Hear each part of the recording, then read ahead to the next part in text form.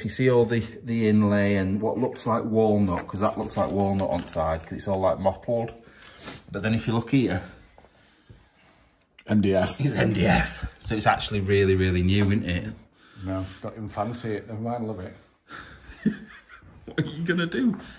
Tonga French dresser? I'm a French woman. a French kiss on a French woman's blurt Blurt? on her old minge box. What's a blurt? I've never heard that in my life, and you've never said that before. I used to say it a lot when I was at school, but did I? I was immature. I haven't changed much, have I? Strange, man.